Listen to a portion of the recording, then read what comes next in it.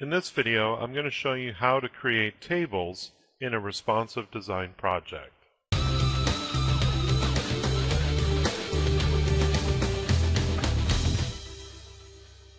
Okay, let's get started here. So I have a slide in my current project that I needed to put a table on. And of course, there is a built-in interaction for Adobe Captivate 9. And my instinct, of course, was to go with the easiest, the path of least resistance, the easiest choice is always to go with uh, some kind of widget or interaction. So you can select that interaction by clicking the interaction drop down icon and going down to learning interactions.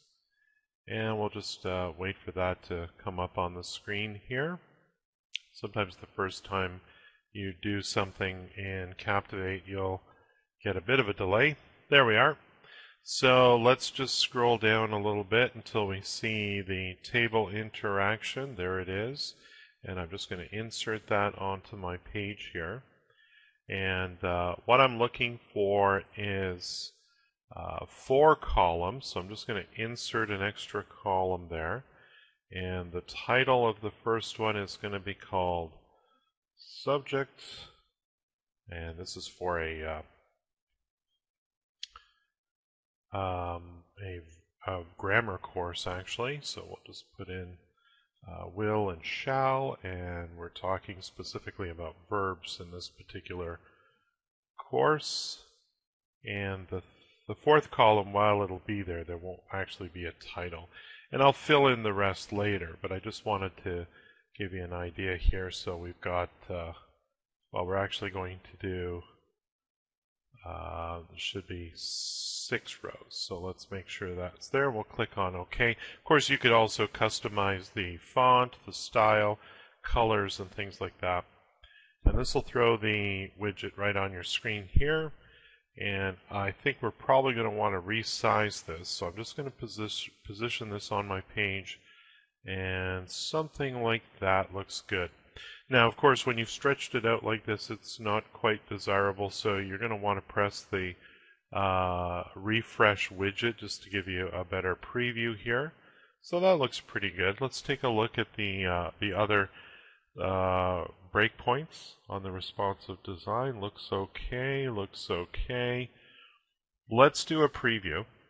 And we'll just do next five slides so that we can see just this particular slide.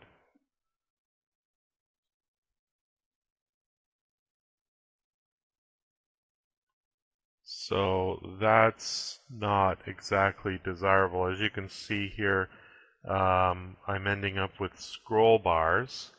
And if I choose the different breakpoints, it's really not quite what I had in mind. I guess it could work. Maybe. Let's just play with the scroll bars a little bit here. Yeah, I don't think this is really what uh, I had in mind for this particular course. Uh, so let's close that out. And we'll just talk for a moment here the the widgets are great, and when you're in a rush and you just need a, a very quick, simple uh, learning interaction, uh, some of them are fantastic. I'll, I'll, be the first to admit that. But I'm also the kind of person uh, who also is concerned about appearance and want to make sure that things look as good as they possibly can. In this case here, I think I'm going to create my own table using Smart Shapes. So I'm just going to get rid of this here. Now, I've been playing around with smart shapes to create tables in a responsive project for the last couple of days here. And I've learned a couple things and hopefully uh, I can share those with you and, and you can benefit by them as well. So I'm going to start off with uh, one rectangle. And I'm just going to ballpark approximately, you know, let's say I'm doing four columns, something around there. And uh, in this case here, I'm going to just make it white, but doesn't really matter. I'm going to make it 100% transparent or 0% uh, opacity, if you will. Uh, I am going to leave the stroke on on this one here. So, but I don't need it two, I just need it one here.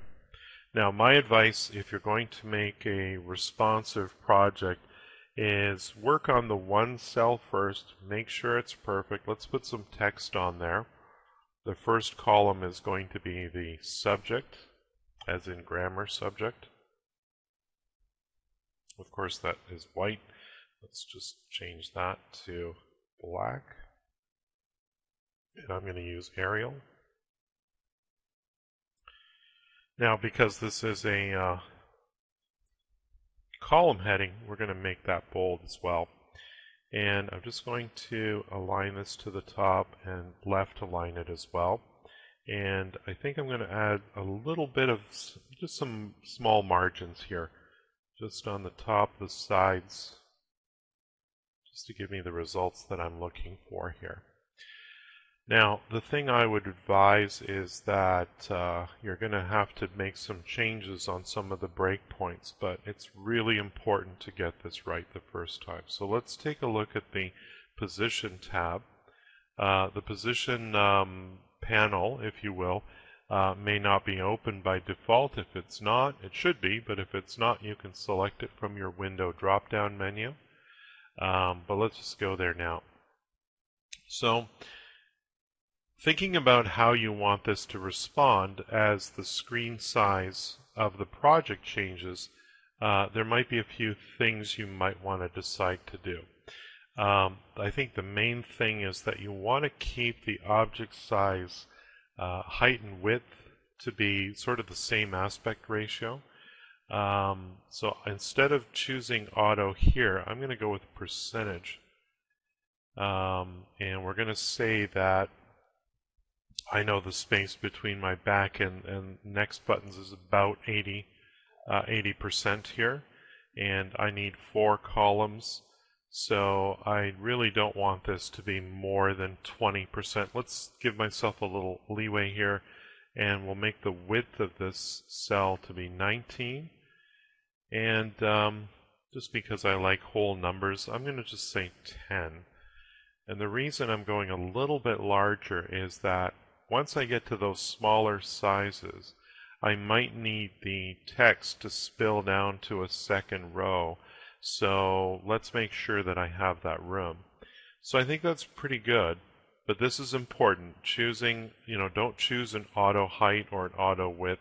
Make sure you have 10%, 19%, and now it's time to duplicate this. So I'm going to hit Control D, and I'm going to duplicate this, and placement is important and it's probably worth it. It does say I'm lined up, but I like to get in there nice and close, you know, and just make sure that I'm truly as lined up as I can be. That's actually where I want it. I want the line to overlap between the two here. So let's just jump back up to fit. And uh, I'm not going to worry about what's in the title yet. I'm going to duplicate this again because again I need four columns. So now I have those four columns. And again, I'm just going to get in nice and close here and make sure that these are aligned exactly. Because again, this is one of those things that once you make a mistake and then duplicate it a bunch of times, uh, you, you know, you're just going to be committed to uh, a not very nice looking uh, table. So that looks pretty good there. Again, I'm not going to worry about what the text says right now because I'll change that when I'm done. So now it's time to make additional rows. And we're going to copy, well actually we're going to duplicate again. Again, I could hit Control D as well. And we're just going to eyeball that, but I think I'm just, that's where I want to be. Now, I'm going to take this opportunity to unbold this particular set of um, of columns or rows uh, because in the following rows I'm just going to need that. And I actually need six rows underneath the heading here. So we'll just duplicate that again. And, you know, this is sort of fidgety little work here, but in the end you'll be happy with the results. I think that's about right there. This time I'm going to duplicate two rows.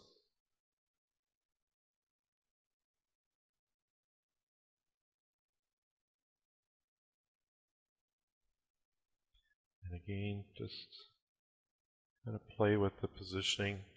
Uh, if you spill out of the area, don't worry, I'll show you a trick to get all that back. And I'm just going to do one final duplicate here so that I have all the cells for my table in place here. And again, I'm just nudging using the cursor keys on my keyboard here. And I think that's about right there. So what I can do at this point, I can actually select all of these cells and I can either right click and select group or I can simply type control G. I'm going to select it here for this point here. So now I have a complete table and the great thing about this is that I can resize this table to fit the slide accordingly. You know, and you can play with uh, with your font settings as well.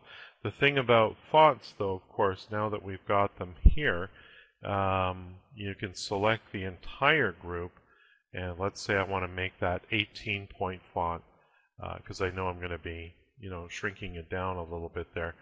Uh, you may have to wait a moment for it to take effect because it's not just making the change to one of your cells, it's making them uh, to uh, like four times seven, whatever that is. So, uh, so there we go. It's good to go.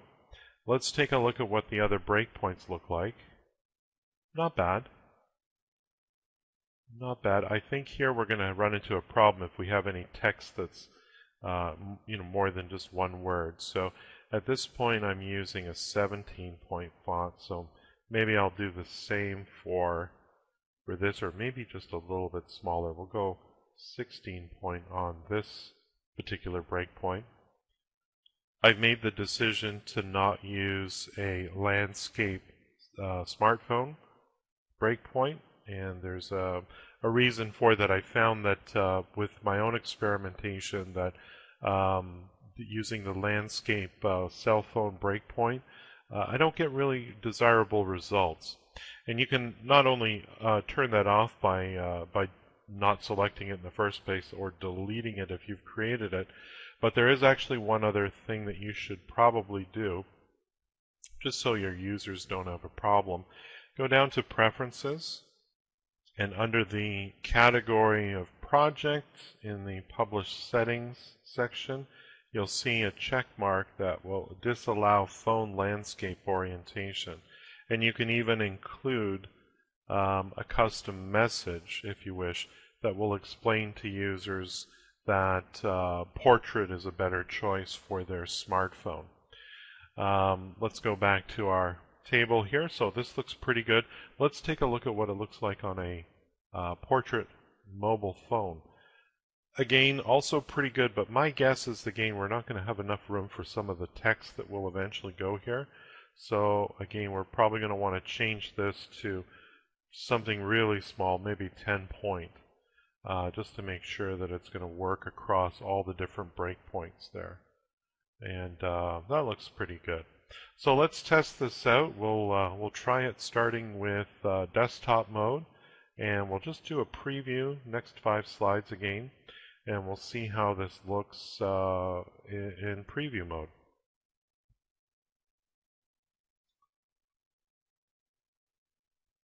So not bad, looks pretty good. Let's uh, let's choose the the actual breakpoints here. Looks good.